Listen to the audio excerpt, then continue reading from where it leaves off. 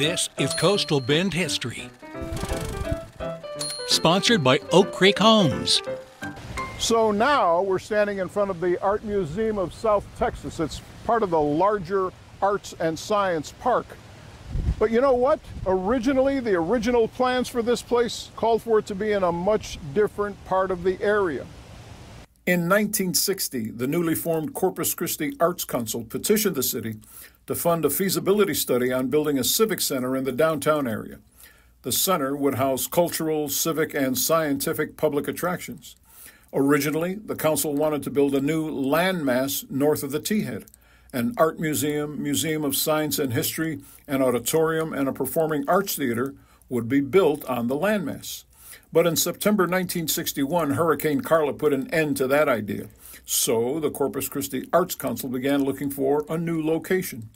A candidate popped up when the Harbor Bridge was completed in 1959. It replaced the Bascule Bridge, which was torn down. That demolition made a large section of bayfront land at the end of shoreline available.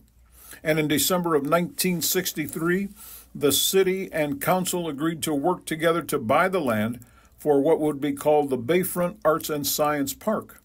In 1964, the Corpus Christi Museum Board voted to build the new Science and History Museum on the site of the old David Hirsch School, which had been demolished.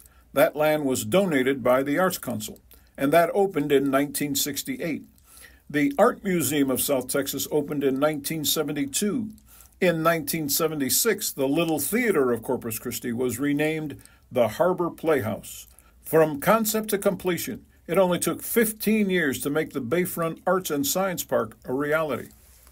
Okay, so since it was completed in 1970, the park has continued to expand, including, well, new museums, the water gardens, and sports and entertainment venues. In fact, that's why the city changed the area name from the Arts and Science Park to the Sports, Entertainment, and Arts Venue.